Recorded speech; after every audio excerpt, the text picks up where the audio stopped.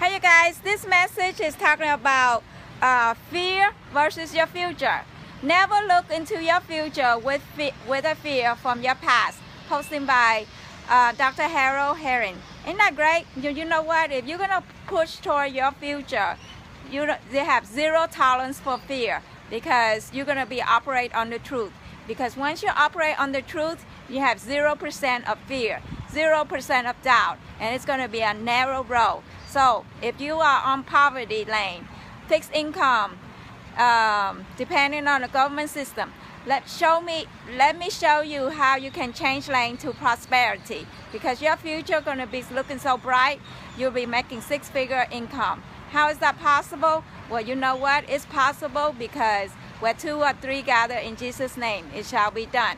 Just like an intercessory prayer where two people come together in agreement it shall be done or just like at the intersection stop sign.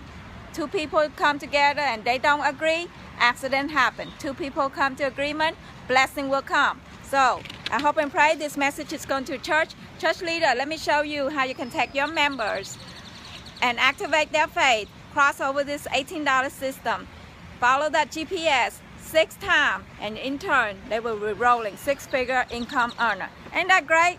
Well you know what Blessing are coming your way when you message me and activate your faith. Looking forward to helping you guys.